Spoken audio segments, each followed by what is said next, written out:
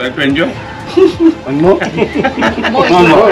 Okay. India's all-time favorite snack, Pani Puri, has a new fan. Japanese Prime Minister Fumio Kishida. Gorugappa. Gorugappa. Kishida is on a trip to India and arrived in New Delhi on Monday morning to explore ways to boost bilateral ties in a range of areas, including defense, security, trade, investment, and high technology. They paid a visit to Buddha Jayanti Park in Delhi and shared some light moments.